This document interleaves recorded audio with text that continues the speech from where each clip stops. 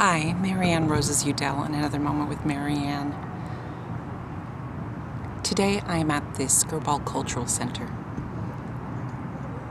taking a day to recharge. It's a beautiful respite right off the 405 freeway. All the busyness and the chaos. You can hear a little bit of the lull of the freeway.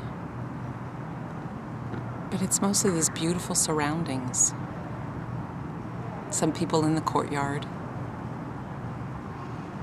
And fresh air.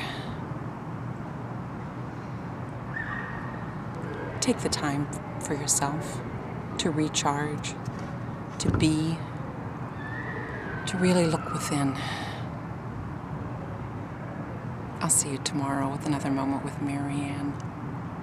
Bye bye.